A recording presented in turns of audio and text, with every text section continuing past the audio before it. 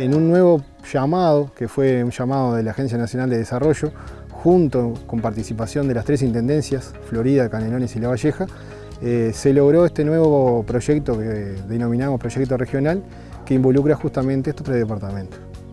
Y la producción ovina lo más lindo que, tiene que, es bien familiar, que lo trabajamos bien con, mi señora, con, los gurises. Los gurises se, involucran muchísimo en esto. Y me dijeron de esto y era una, buena posibilidad de hacerme de, más vientre.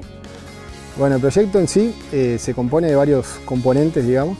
Eh, por ejemplo, uno es la asistencia técnica que es gratuita, tanto agronómica como veterinaria. Después tenemos también el, uso de ecografías, la posibilidad de hacer ecografías, eh, la posibilidad de, anotarse en lo que vendría a ser la majada del fondo rotatorio o la, majada cooperaria en realidad, que, básicamente es proporcionarle algunos vientres a los productores que, están arrancando o productores de pequeña escala, como para potenciar su producción. Eh, también se ha, brindado eh, perros marema, que son perros de guarda, que, lógicamente han tenido una cabida bastante interesante en lo que vendría a ser eh, algunos predios con algunos problemas de depredadores o, perros sueltos. Ahora te dan, te dan vientre, pero te dan directamente los vientres. Que no es como otros proyectos que si ahora te dan la plata y uno que si está corto de plata o lo que sea y te terminas gastando tapando otra deuda o lo que sea y te quedas sin una cosa y sin otra. Acá te dan el vientre o agarrás y, lo, podés con, lo mismo, con las mismas ganancias que ellas te van generando, lo vas pagando.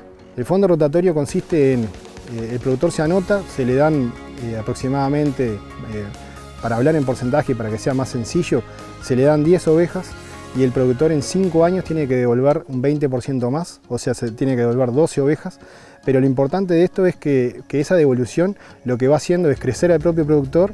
No tiene por qué devolverlas el primer año, sino que va devolviendo año a año. Y eventualmente los demás productores también se van viendo beneficiados porque se va reinvirtiendo en majadas que, se puedan ir eh, virtiendo a otros productores.